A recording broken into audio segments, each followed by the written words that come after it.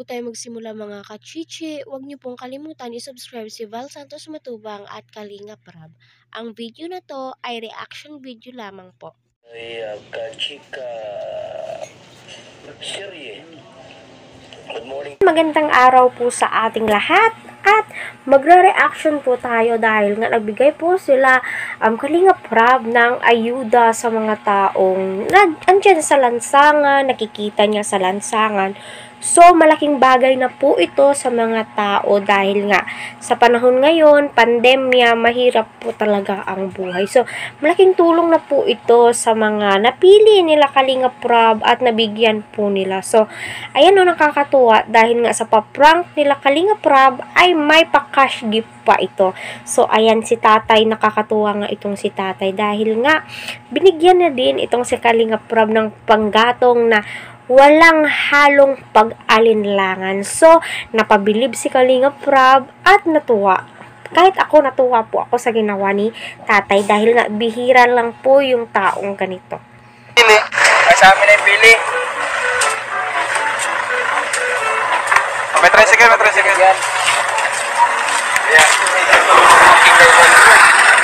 Siguro ayan no, madami pong pangba- panggatong. Ang pagkakaalam ko dyan, ibinibenta siguro ito ni tatay. Tay. Biro lang tay, biro lang po. O, para sa inyo tatay. Bigas. Grabe tayong ginagawa niyo, ano? Bait. Bait ni tatay, binigyan pa tayong pili sa ano. O tayo, pera. O. Yan, Ayaw ni tatay ng pera. Oh, bigyan mo. Oh, sige na. Sige na, sige na. Sige na, no, tay.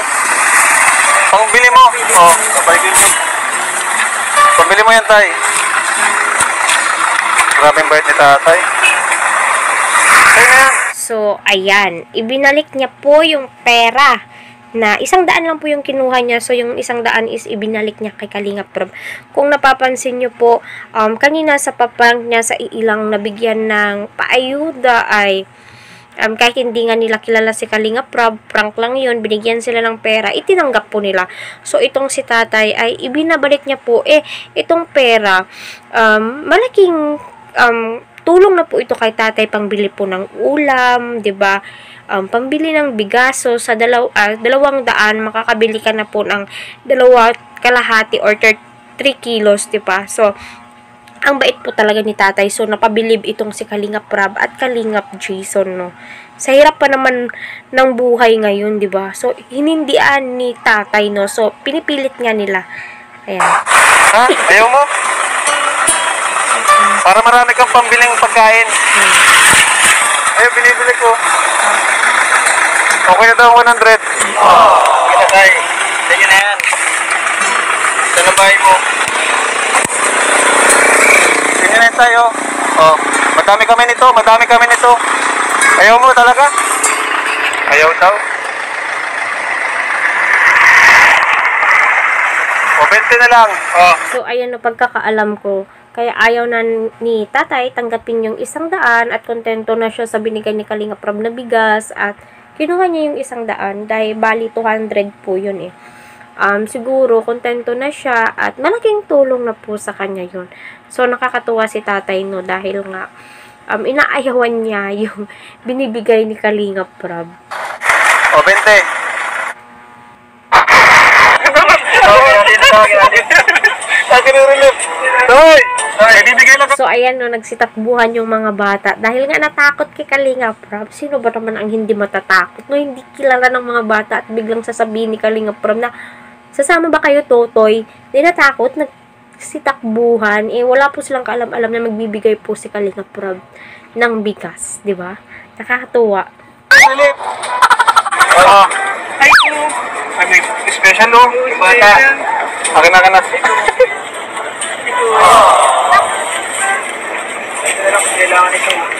Toy! Ang pangalan mo? Toy. Di mga tumakbo, dito kayo. Dito, dito.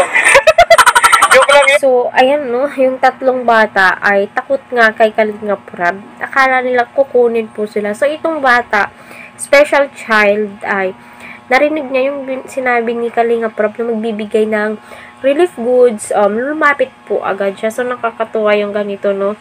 Um, itong, siguro, um, kailangan niya o wala po silang makain, kaya lumapit agad siya. 'Di ba? Toy, kayo ang kapatid dito. Toy, ano pangalan mo? Oyang? Anong pangalan mo? Aper. Ah. Galing kay Sir Art. Okay, ito, Toy, ito. Ayan, di ba? Ah, marami pong nabigyan sila Kalinga Prab at nakakatuwa dahil nga um, nabigyan po rin yung special child at malaking bagay na po sa kanila yan, lalo-lalo na ay taghirap po ngayon. So, sana ay marami pa pong matulungan sila Kalinga Prab at maambulan ng mga paayuda kahit konting ba, kahit konti.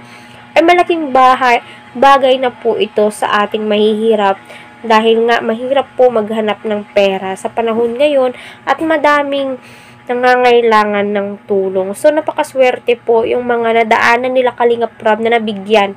Diba? So, happy birthday nga po sa nagbigay ng paayuda kila Kalinga Prab at ibinigay din po nila Kalinga Prab sa mga mahihirap.